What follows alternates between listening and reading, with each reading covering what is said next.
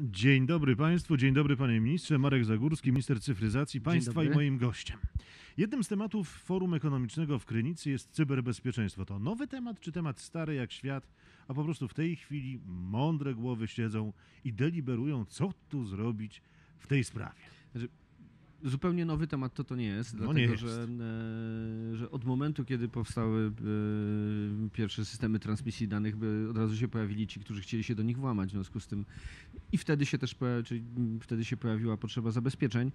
Natomiast e, jak sobie mm, uświadomimy, jak wiele sfer naszego życia już w tej chwili jest uzależnionych od transmisji danych, mówiąc, bo, bo mówimy o internecie, ale tak naprawdę mówimy o transmisji transmisji danych, danych. o przetwarzaniu danych, no to, no to, to siłą rzeczy dyskusja o e, bezpieczeństwie tej transmisji, czyli mm, o cyberzagrożeniach e, i przeciwdziałaniu tym cy- cyberzagrożeniom staje się tematem jednym, e, jednym z ważniejszych, zwłaszcza jeżeli e, popatrzymy na to pod takim kątem tradycyjnym nawet, tak? czyli e, pod potencjalnej wojny. Mówiliśmy o wojnie hybrydowej, ale też pamiętajmy, że były takie państwa jak Estonia, która została zaatakowana cyfrowo wręcz I czym więcej tej, tych, tych, naszych, tych naszych aktywności, tych systemów, które wspomagają nasze funkcjonowanie, wspomaga- wspomagają funkcjonowanie gospodarki, wspomagają funkcjonowanie państwa, czym więcej tych systemów jest, e, tym e, łatwiej. Rozumiem, Panie Ministrze, systemów zabezpieczeń. E, systemów transmisji danych, a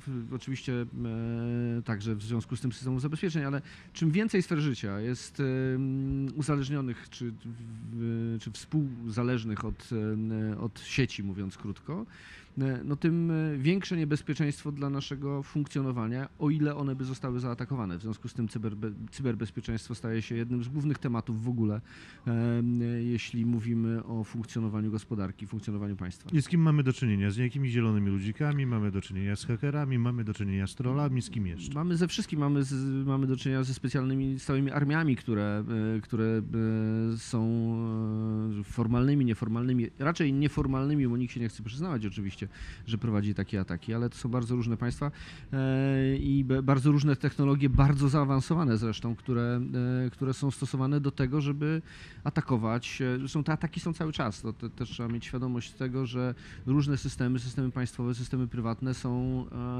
e, atakowane i mówimy tutaj zarówno o zagrożeniu gospodarek, firm, ale także o zagrożeniu poszczególnych osób, których dane też mogą zostać e, przejęte i wykorzystane. Mam taki raport e, pod e, autorstwem i opieką Krzysztofa Gawkowskiego, notabene doktora, opracowany. Wynika z niego, że Polacy są coraz bardziej mobilni, ale mało świadomi zagrożeń.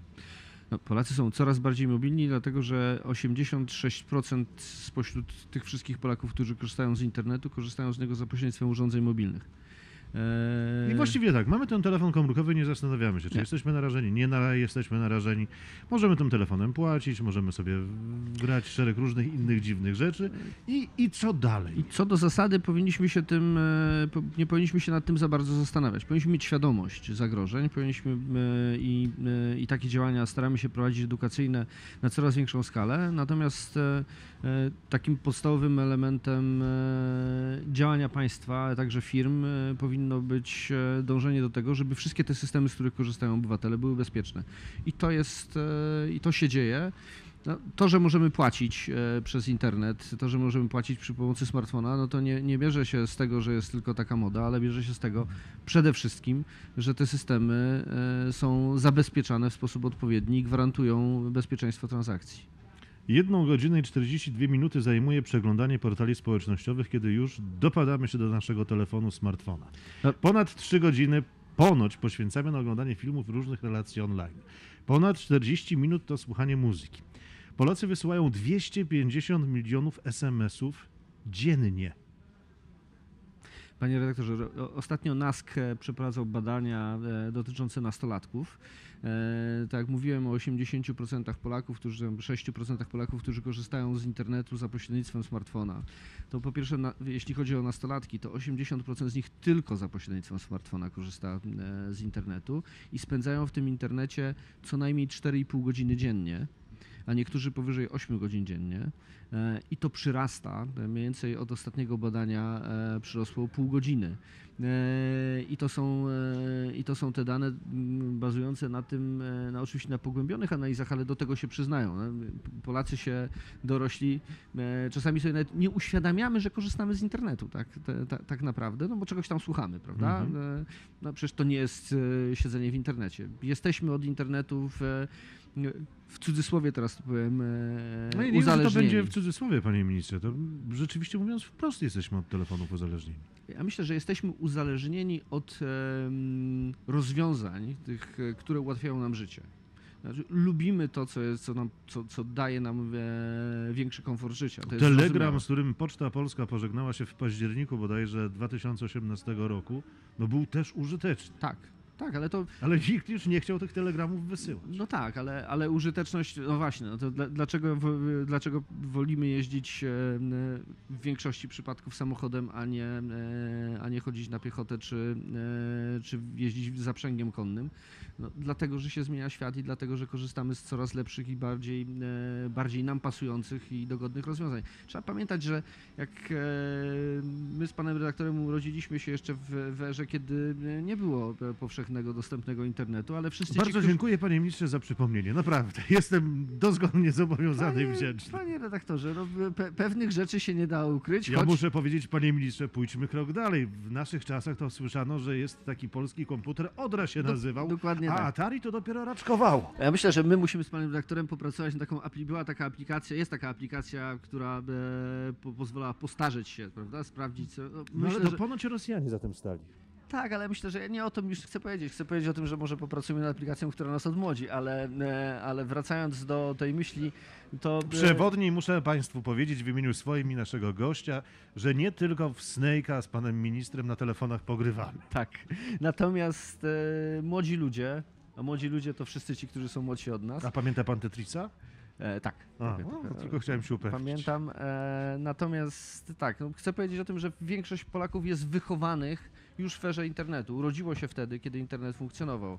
Wtedy, kiedy były telefony komórkowe już. Z, I to jest z każdym rokiem My to jeszcze te cegły więcej. pamiętamy, nieprawdaż? Tak, które e, ważyły 2,5 kg i miały 12 watów mocy. No i abonament za ten telefon również był spory.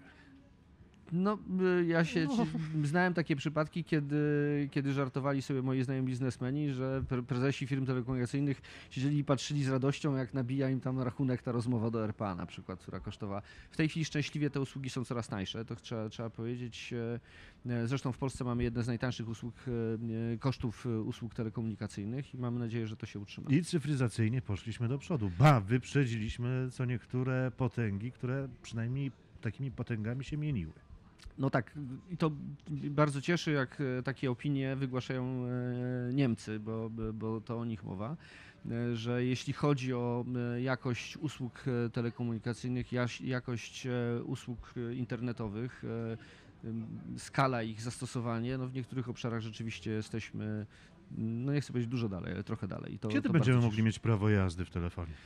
Panie redaktorze, w- ustawa, która na to pozwoli, jest w tej chwili na ostatnim etapie prac w rządzie. Ale to Mam nie ma nadzieję- czym pracować, przecież to jest proste. E, Jeśli chodzi o e, samą możliwość posiadania prawa jazdy w smartfonie, to jest banalnie, banalnie proste rzeczywiście. To dlaczego tego jeszcze do tej pory nie? Dlatego, że nie chcemy wprowadzać Polaków w błąd. Dlatego, że jeżeli byśmy w tej chwili udostępnili e, e, prawo jazdy w, w smartfonie, to część z Polaków po prostu przestałaby wozić prawo jazdy, a dopóki, dopóki nie zmienimy prawa, jeszcze trzeba je ze sobą mieć. Mhm. I to, to tylko z tego powodu ustawa, bo to jest cały taki tak zwany pakiet deregulacyjny, nad nim pracuje minister infrastruktury, jest, e, będzie przyjęta we wrześniu przez Radę Ministrów i myślę, że na początku roku, zgodnie z zapowiedziami, będziemy mogli już e, mieć komplet dokumentów związanych z, z komunikacją, tak bym powiedział, czy w smartfonie, bo mamy już tam dowód rejestracyjny, mamy OC, jeszcze tylko prawa jazdy brakuje. Czego pan oczekuje po rozwoju internetu? No, sam internet to jest takie pojęcie też dosyć ogólne, prawda? Ja przede wszystkim oczekuję, że e, zbudujemy ten internet tak do końca, e, bo tu, tu jeszcze cały czas mamy sporo do zrobienia. Ja jeszcze wprost nie nazywam tej sieci 5G. Czekam z tym pytaniem, ale to za moment. Panie Naprzód do tych zanim, oczekiwań. zanim zrobimy 5G, to najpierw e, i to naprawdę jest dla nas e, je- jedno z największych wyzwań zbudowanie sieci światłowodowej. E, Takim ambitnym celem na, na, na przyszłą kadencję jest e, przyłączenie do sieci światłowodowej każdego budynku e, mieszkalnego w Polsce, e, bo to daje tak naprawdę taką e, pełną zdolność do szybkiej transmisji danych. A tak z ciekawości zapytam, jakie państwo, państwo jako aparat państwa, państwo jako kraj, ma interes w tym, żeby obywatele mieli internet? No to, jest, to jest pytanie takie, jakie, jakie, jakie państwo ma interes z tego, że są drogi. To jest mniej więcej dokładnie to samo. No, chcemy, żeby po pierwsze, po pierwsze, chcemy, żeby się rozwijała gospodarka. No, żeby się rozwijała gospodarka, to dzisiaj mówimy o tym, że gospodarka powinna w coraz większym stopniu e, być budowana na, poprzez, w oparciu o przetwarzanie danych. Żeby to przetwarzanie danych mogło się odbywać, to muszą być konsumenci, którzy będą z tego przetwarzania danych korzystać, czyli żeby były aplikacje, żeby były e, usługi internetowe i tak dalej. A jedną z barier e, i jednocześnie szans mm, w, odwróconym spojrzeniu, e, jedną z barier jest po prostu brak, brak dostępu do sieci, szybkiej sieci, bo to jest ważne. A poza tym musimy też sobie zdawać sprawę, że e, potrzebujemy sieci o coraz większej przepustowości, e, dlatego że coraz chętniej korzystamy e, z transmisji danych. No, cały No, czas jeden z takich kręci. paneli, infrastruktura technologiczna, a wizja sieci kolejnej generacji w Polsce. Znaczy, Mówimy o 5G, bo pan Dla niewtajemniczonych w tej chwili mamy generację czwartą. Tego, Dla- tak, mówimy o 5G, choć już są tacy, którzy e, rozmyślają o 6G, o 7G. E, 5G startujemy. E, początek przyszłego roku aukcja e, na częstotliwości pod 5G. Do, rozdysponowanie tych częstotliwości do połowy roku. Pierwsze duże miasto w, do końca przyszłego roku w Polsce powinno mieć już e, funkcjonującą sieć 5G. E, Myślę, że za parę tygodni takie poważne, poważny pokaz e, w Warszawie jedna z firm zaprezentuje już funkcjonującą, oczywiście jeszcze w wersji pilotażowej sieć. Czy będzie to firma skandynawska? E, Dostawcą sprzętu do tej sieci, operator telekomunikacyjny nie jest skandynawski, ale dostawca tak jest skandynawski. Mm, operator będzie ktoś z Ameryki? E, op- Nie, nie, nie. Operatorem, operatorów mamy tutaj w Polsce dużo zresztą. Rozumiem. To w takim razie co podpisał pan prezydent razem z wiceprezydentem Stanów Pan Zjednoczonych? premier, po- po- poprawię pana redaktora, podpisał deklarację w sprawie e, współpracy dotyczącej bezpieczeństwa sieci 5G. I to jest o tyle istotne, e, że e, wracając do kwestii, mm, o której zaczęliśmy rozmowę od Mhm. cyberbezpieczeństwa, jeżeli e, dzisiaj jesteśmy uzależnieni od, od przetwarzania danych i wyobraźmy sobie sieć 5G, która umożliwia przesyłanie danych z jednego miliona urządzeń na kilometr kwadratowy. E, Umożliwia przesyłanie tych danych z szybkością dziesięcio i wielokrotnie większą niż w tej chwili najszybsze, najszybsze sieci mobilne. E, Naturalnie e, wszyscy dostawcy różnego rodzaju usług będą z tej sieci korzystali. Systemy zarządzania miastami, systemy zarządzania poszczególnymi e, branżami będą Oglądał uzależnione pan od tak tej jak sieci. i ja już nie w dzieciństwie, bo w dzieciństwie takich filmów katastroficznych nie było, ale już nieco później, kiedy dorastaliśmy. Takie filmy jak Haker przejmuje zarządzanie miastem, Tak, tak. sygnalizacją świetlną, to- dostępem do wodociągów, do tego wszystkiego jeszcze dostępem do paru innych dziwnych miejsc. Tak, wtedy to było Wie pan, trochę- jak to się kończyło? Wtedy to było science fiction. Dzisiaj science fiction było to sterowanie aż tak Mhm. zaawansowane. e, Bo No to jeszcze- mamy szklaną pułapkę, taką kolejną. Dokładnie, natomiast mm, dlatego, jak mówimy o sieci 5G, musimy położyć od samego początku bardzo silny nacisk na jej bezpieczeństwo i tutaj współpraca z naszymi partnerami w, z NATO chociażby, ale także w, w ramach Unii Europejskiej jest kluczowa do tego, żeby to bezpieczeństwo zapewnić, bo sieć 5G daje całe mnóstwo możliwości, fantastycznych możliwości, no ale musimy zadbać o, e, o tyły. A jakie to są te fantastyczne możliwości w porównaniu z siecią 4G? Jakie są w ogóle różnice między tym oznakowaniem 4G, 5G? No To jest za każdym razem nowa, e, no, taka nowa zasadnicza- generacja, ja nowa, no, zasadnicza różnica była wtedy, kiedy e, przeszliśmy na transfer cyfrowy, prawda, danych. Później e, wiązało się to z dużą szyb, z szybkością. W tej chwili mówimy po pierwsze o dużo większej szybkości, to są szybkości rzędu 1 gigabita e, na sekundę e, i wyżej. E, Mówimy cały czas o sieci bezprzewodowej, to, to, to warto podkreślić. Dwa, mówimy o stabilności tej sieci, znaczy o bardzo, bardzo niewielkim opóźnieniu, e, co powoduje, że e, to, o czym się mówi, mówiło wiele, wie, wiele razy, że możemy przeprowadzić zdalnie operację na przykład chirurgiczną. No to rzeczywiście możemy ją przeprowadzić. e, e, Nie tylko teoretycznie, ale praktycznie i to z takich odległości e, porządnych, czyli z drugiego końca świata. Mo- Może być, może być operator jakiś zdalny, jakiś, jakichś urządzeń, które będą wykonywały te zabiegi. I pojemność tej sieci, ilość danych, które mogą by, być przetwarzane, ilość urządzeń, które mogą się komunikować między sobą. Już mówiłem o tym.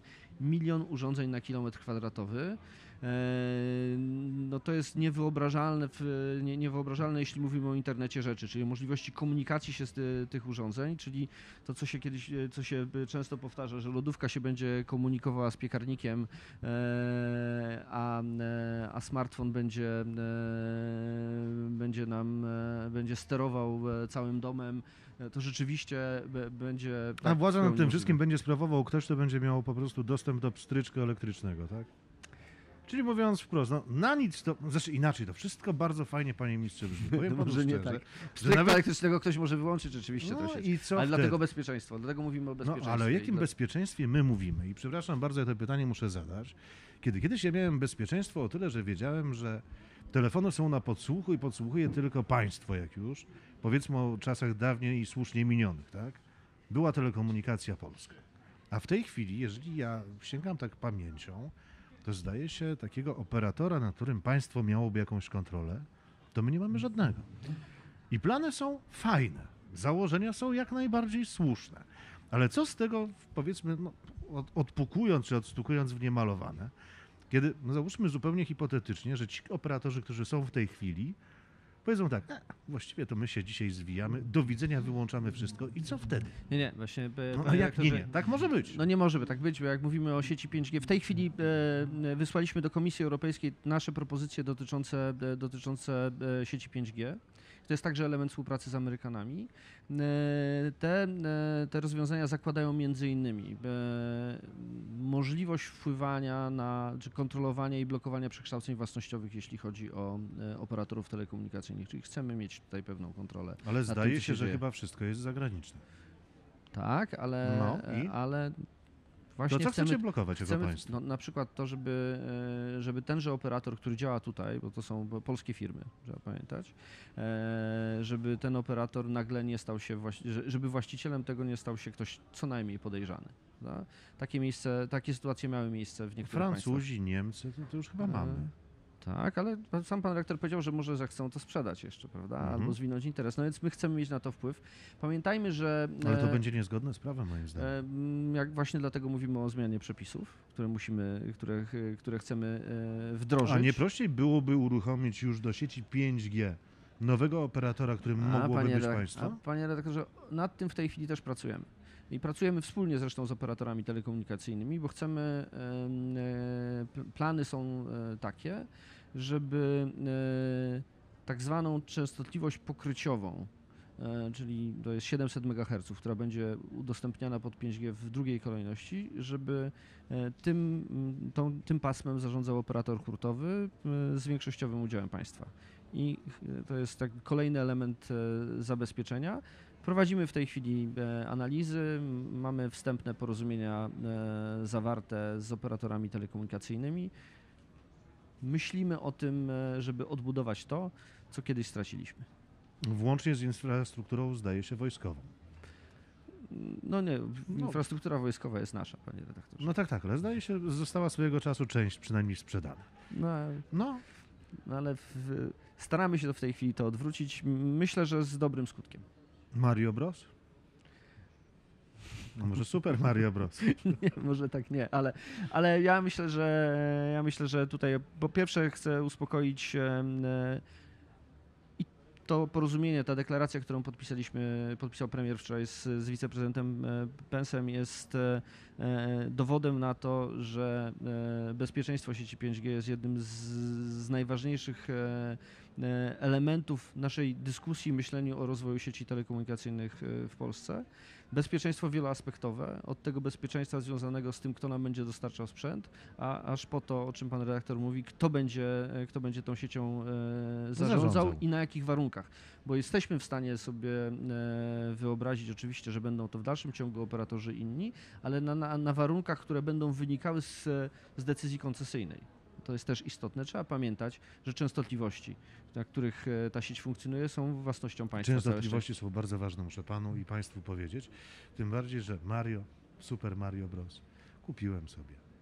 Nie na każdym telewizorze Panie- ze względu na częstotliwość Panie, iść. panie redaktorze, zazdroszczę trochę, choć jakimś wielkim fanem gier nie jestem, zazdroszczę, e, że pan redaktor jeszcze znajduje czas. Muszę się nauczyć zarządzania czasem od pana redaktora. Rozumiem, czyli to była taka subtelna aluzja na koniec. Marek Zagórski, minister cyfryzacji państwa i moim gościem. Był bardzo dziękuję, panie Dziękuję ministrze. bardzo.